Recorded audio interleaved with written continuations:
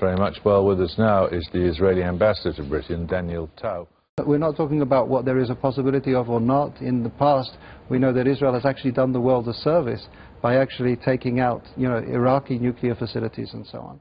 The Israeli policy as far as uh, nuclearization hasn't changed for decades. That's, that's another Israel, thing you don't talk about. Israel has not threatened uh, another state as Iran has, you know. For